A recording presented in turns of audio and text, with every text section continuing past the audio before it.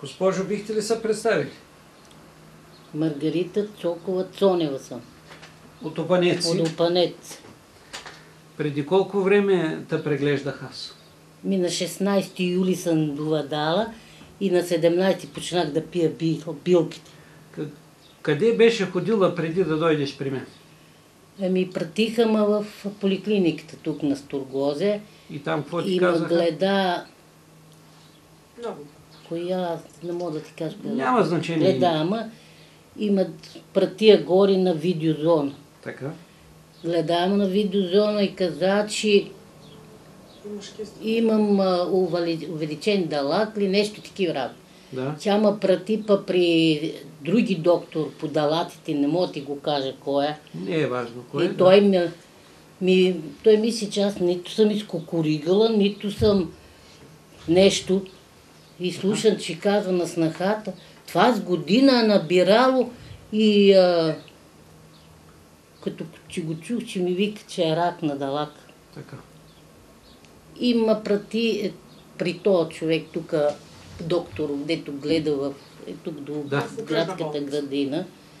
Ма гледа човека, каза ми, че имам киста На черно. на черния дроб, едната са калцирала, две са останали и си имам и документите са у дома. Така.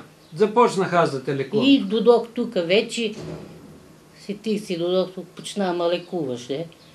И вече съм си изпила билките редовно, не съм Горчевината в устата има ли? е? Немам горчевина, немам нищо сега. Сега нямаш и киста на черния дроб. Дай Боже. Нямаш и увеличен далак. Ти изобщо нямаше увеличен далак. Ти с далака нямаше проблеми въобще. Сърцето ти е по-добре сега. Сърцето ми, аз си го знам, че за нова година сърцето беше изляло из ритъм. А, така. И а, Витамова ме прати тук на Строгозе при та поп Ноева идва в сел. Да. Жената ми ударя една инжекция, даде ми лекарства и. И за 31-ви пак доведах тук и вече тя си идва в сел. Добре. Преглежда ме и ми изписа за сърцето. Аз нося едното чима и тя Ти каза, пи и че билки за сърцето. аз си го пия. И билките пия и това сутрин на главно пия апчето. А Много ти благодаря за този запис. Ще го имам тук за спомен. И аз Благодаря. ще бъда много доволна за тази работа, ако верно.